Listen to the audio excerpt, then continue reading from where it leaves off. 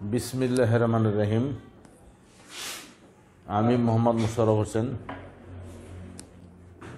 রাষ্ট্রবিজ্ঞান বিভাগ সহকারী অধ্যাপক মোহাম্মদপুর আইডিয়া ডিগ্রি কলেজ।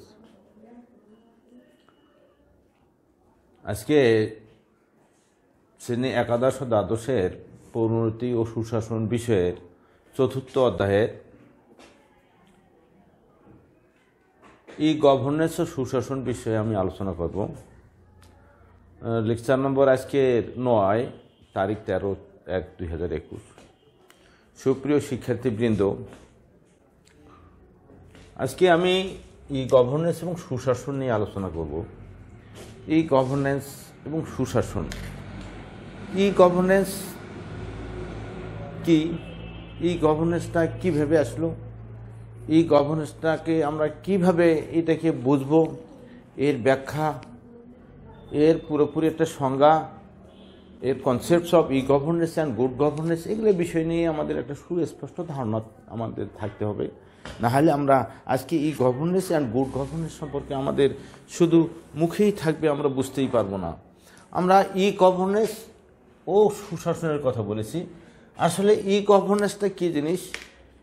ই গভর্নেন্স আজকে বর্তমান যুগ, আধুনিক যুগ, তথ্য প্রযুক্তির যুগ আইসিটির একটা অংশ, যেটাকে আমরা ইনফরমেশন কমিউনিকেশন অ্যান্ড টেকনোলজির কথা বলেছি, এটা একটা অংশ। ই গভর্নেন্স আজকে ই গভর্নেন্সকে সংক্ষিপ্তভাবে আমরা বলব ইতে electronics governance governance electronics government electronics government এই ইলেকট্রনিক্স শাসন ব্যবস্থা, সরকার ব্যবস্থা, মধ্য দিয়েই যেভাবে অফিস আদালত, কোর্ট কাছারি, শিক্ষা প্রতিষ্ঠান সব কিছুই পরিচালিত হচ্ছে। সেটাকে আমরা ই গভর্নেন্স বলব। আমাদের আজকে আজকে সব ক্ষেত্রেই দেখেছি অফিস আদালত, কোর্ট কাছারি, শিক্ষা প্রতিষ্ঠান, সব ক্ষেত্রেই আমাদের আজকে কেন যেন আমাদের ইলেকট্রনিক্স পদ্ধতির মাধ্যমে কম্পিউটারের মাধ্যমে আমাদের তথ্য প্রযুক্তির যত সেবাগুলো আছে আমাদের ই কমার্সের কথা বলি ই সেবা বলি তারপরে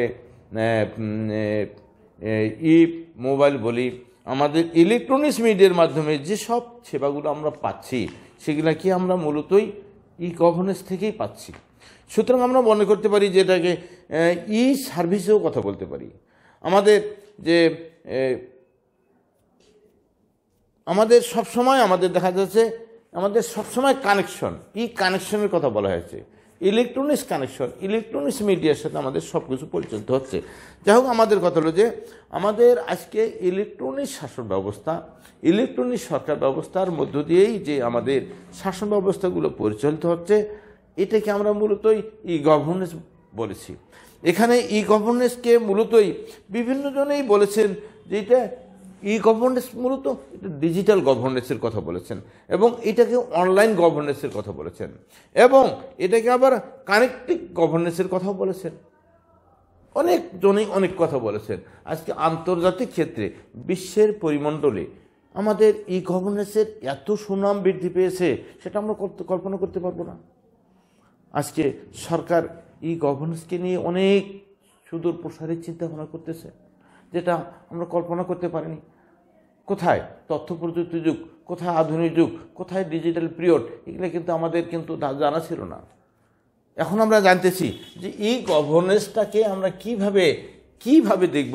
বিভিন্ন জনেই বিভিন্নভাবে ই গভর্নেন্সকে সংজ্ঞায়িত করেছেন।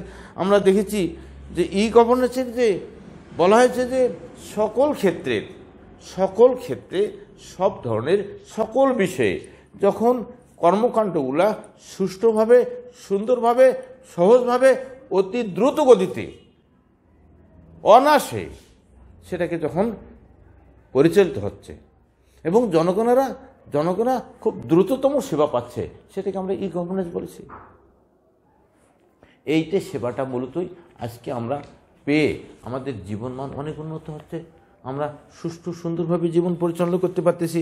এখন আমাদের কথা হলো যে, আজকে দু হাজার ছয় সালে জাতিসংঘ কর্তৃক একটা ভাষা, ভাষায় ওনারা অনেক বিভিন্ন ভাষায়, বিভিন্ন সংজ্ঞায় তারা সংজ্ঞায়িত করেছেন জাতিসংঘ কর্তৃক বলা হয়েছে যে, সরকারি তথ্য এবং তথ্যসমূহ, নাগরিক, নাগরিকের যাবতীয় যে কর্মকাণ্ডগুলা, সেটা মূলত আমাদের ইন্টারনেটের মাধ্যমে, ওয়ার্ল্ড ওয়াইড ওয়েবের মাধ্যমে। আমাদের জনগণের নিকট যে পৌঁছে দেওয়া, পৌঁছে দেওয়ার যে ব্যবস্থা, সঠিক ব্যবস্থা, এটা হচ্ছে এই গভর্নেন্স এটা জাতিসংঘ কর্তৃক সংখ্যায় সংজ্ঞায়িত করা হয়েছে। তাহলে আজকে আমরা দেখেছি যে আবার বলা হয়েছে যে ইউরোপীয় কাউন্সিলের কথা বলা হয়েছে। ইউরোপীয় কাউন্সিলের মাধ্যমেও আমাদের অনেক এই ই গভর্নেন্সকে নিয়ে অনেক আলোচনা হয়েছে, বিশদ ব্যাখ্যা হয়েছে। ই গভর্নেন্সকে নিয়ে অনেক সুদূর প্রসারের চিন্তাভাবনা হয়েছে। এই ইউরোপীয় কাউন্সিল ওনারাও কথা বলেছেন যে জনগণের সাথে সরকারের সরকারের সাথে জনগণের যে সুদূর প্রসারী যে কর্মকাণ্ড, চিন্তা, চেতনা, এটা কিন্তু অবিশ্বাস্য। এটা কেউ ভাবতে পারেনি। আজকে এত দূর, নিমিষেই সেকেন্ডেই মুহূর্তেই আমাদের সব আমরা বোতাম বোতাম টিপলেই আমরা বুঝতে পারি যে আমাদের কাজ কোথায় যাচ্ছে, কোথায় হচ্ছে, কীভাবে হচ্ছে, কীভাবে করতেছি। বুঝতেই পারতেছি না, এটা কিসের জন্য? আজকে আমাদের ই গভর্নেন্সের জন্য। এই ই গভর্নেন্সকে আজকে আমাদেরকে আমাদেরকে ব্যাপক পরিবর্তন এনে দিয়েছে। ই গভর্নেন্সের কারণেই আজকে আমাদের, আজকে গোটা পিরিয়ডটা, গোটা যুগটা আমরা বদলে গেছি। মানুষ সবসময় পরিবর্তন হচ্ছে, সমাজ পরিবর্তন হচ্ছে। সুতরাং আমরা ইউরোপীয় কাউন্সিলের কথা বলেছি এবং আমাদের অনেক সময় মার্কিন যুক্তরাষ্ট্রেও ই গভর্নেন্সের যে সংজ্ঞায় সংজ্ঞায়িত করেছে, সেখানেও তারা বলছেন যে যে ওয়েবসাইট, ইন্টারনেট, তথ্য প্রযুক্তির সব ক্ষেত্রে সরকারের যে সেবাগুলা, মূলতই সেটা মূলতই সেবাগুলো তথ্য সরবরাহের জন্য, তথ্য সহজভাবে আদান প্রদানের জন্য। আজকে ই গভর্নেন্স, আজকে ইলেকট্রনিক শাসন ব্যবস্থা, ইলেকট্রনিক সরকার ব্যবস্থা এটাকে মূলত আমরা সরকার পরিচালনার ক্ষেত্রে অনেক সাফল্য, অনেক স্বচ্ছতা এবং অনেক দক্ষতা এসেছে। এই কারণে আজকে আমাদের এই গভর্নেন্সকে মূলতই আমরা অনেকভাবে দেখেছি। এর ধারণা আমাদের আরও অনেক আছে। ভারতের যে প্রাক্তন রাষ্ট্রপতি, উনিও বলেছেন যে ই গভর্নেন্স বলতে বলেছে স্বচ্ছ, নিশ্চিত, গ্রহণযোগ্য, অবাধ তথ্য প্রভাব সৃষ্টির মাধ্যমে সরকারের বিভিন্ন বিভাগের পারস্পরিক সহযোগিতা বৃদ্ধি এবং নাগরিকের বৈধ সেবা দেওয়ার বিভিন্নভাবে প্রকৃষ্ট উদাহরণের অনেক কিছু বিষয় এখানে উল্লেখ করা আছে। অনেক কিছু দেখেছি। এই জন্য ভারতের চন্দ্রবাবু নাইডু একটা কথা বলেছিলেন যে, আসলে আজকে আমাদের সব ক্ষেত্রেই স্মার্ট হয়ে গেছি আমরা। শুধু এই ই গভর্নেন্সের কারণেই স্মার্ট হয়েছে। স্মার্ট কথা বলতে যে, উনি স্মার্টকে যেভাবে দেখেছেন, সেভাবে দেখেছি এসতে হচ্ছে সিম্পল এমতে মরালিটি আর্টে রেসপন্সিবিলিটি টিতে ট্রান্সপারেন্সি এই যে এই কথাগুলা আর একটা আছে এতে অ্যাকাউন্টেবিলিটি এই যে, এগুলো তার মানে কি বোঝা যাচ্ছে? তার মানে বোঝা যাচ্ছে যে ই গভর্নেন্সের সহজলভ্যতা আছে, স্বচ্ছতা আছে, জবাবদিহিতা আছে, এবং অনেক কিছু আছে ই গভর্নেন্সের এই কারণে ই গভর্নেন্সকে ই গভর্নেন্সের মধ্যেই আমাদের প্রত্যেকটা মানুষের নাগরিকের জীবনমান অনেক উন্নত হয়েছে। আচ্ছা আরও একটা কথা বলতে বলা যায়।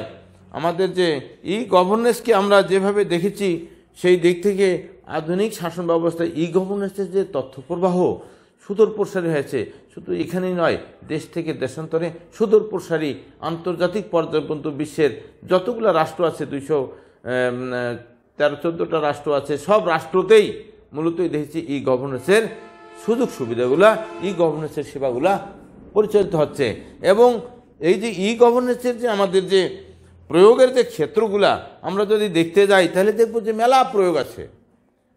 এত প্রয়োগ ই সেবার কথা বলতে পারি ই সার্ভিসের কথা বলি ই কানেকশনের কথা বলি, তারপরে ই গণতন্ত্রের কথা বলি, সব ক্ষেত্রেই আমাদের হচ্ছে ই গভর্নেন্সের এগুলো প্রয়োগ। এখন আমাদের কথা যে ই প্রশাসনিক বোঝা যাচ্ছে আমাদের এই ডেমোক্রেসি ইত্যাদি ইত্যাদি অনেক প্রয়োগগুলো আছে। এই প্রয়োগগুলো দিয়ে আমরা দেখেছি ই গভর্নেন্সকে আমাদের অনেক দূর এগিয়ে যাচ্ছে। এখন সরকার আবার বলেছে ই গভর্নেন্স এটাই শুধু নয় ই গভর্নেন্সের যে কাজ সেটা হচ্ছে মূলতই গভর্নমেন্ট থেকে ই গভর্নেন্সের যে কার্যক্রম সেটা হচ্ছে গভর্নমেন্ট থেকে গভর্নমেন্ট গভর্নমেন্ট থেকে ব্যবসা বাণিজ্য সরকারের সাথে জনগণের ব্যবসা বাণিজ্য, সরকারের সাথে জনগণের সেবা, সরকারের সাথে নাগরিকের সবারই ক্ষেত্রে, সকল ক্ষেত্রে সকল নাগরিকের সুবিধা আছে এই, ই গভর্নেন্সের। সুতরাং আমরা যে কথা বলতে পারি government to citizen government to business আবার সরকার থেকে আমাদের যে সরকার, জনগণ থেকে সরকার, সকল ক্ষেত্রে, কেন যেন একটা খুব কাছাকাছি সম্পর্ক এসেছে। এই এই ই গভর্নেন্সকে হওয়ার কারণে। আমরা আর আমরা সবসময় এখন আর দূরত্ব বজায় রাখতে চাই না, এখন আমরা খুব কাছাকাছি থাকতে চাই। সরকারের সাথে আমাদের যা প্রয়োগ, সরকারের সাথে যা আমাদের চিন্তাভাবনা, সেই চিন্তাভাবনাগুলো মূলতই এখন ই গভর্নেন্সের সাথে চলে আসছে। অর্থাৎ ই গভর্নেন্সকে নিয়ে আমাদের সবসময় ই গভর্নেন্সকে নিয়েই আমাদের সবসময় এখন পরিকল্পনা, আমাদের ই গভর্নেন্সকে নিয়েই আমাদের এখন চিন্তাভাবনা।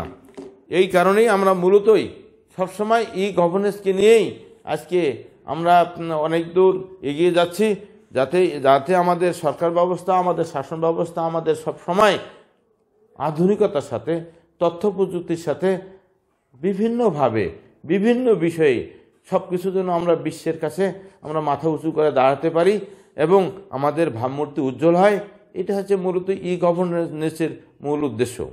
যাই হোক, আমরা সুপ্রিয় শিক্ষার্থীবৃন্দ, আমরা সামনের দিনে ই গভর্নেন্সের যে বৈশিষ্ট্য, এগুলো আলোচনা করব। তোমরা সবাই ভালো থাকো, সুস্থ থাকো, এই আশাবাদ ব্যক্ত করে আজকে এখানে শেষ